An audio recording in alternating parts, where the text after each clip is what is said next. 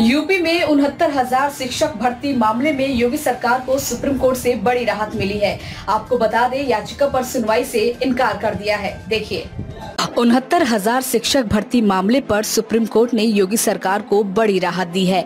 Supreme court ने बुधवार को हाईकोर्ट के फैसले को चुनौती देने वाली अभ्यर्थियों की याचिका पर सुनवाई करने से ही इनकार कर दिया। हालाँकि कोर्ट ने ये ज़रूर कहा है कि अभ्यर्थी हाईकोर्ट जा सकते हैं।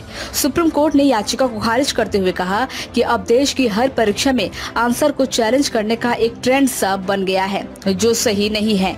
फैसले से प्रदेश की योगी सरकार को बड़ी राहत मिली है।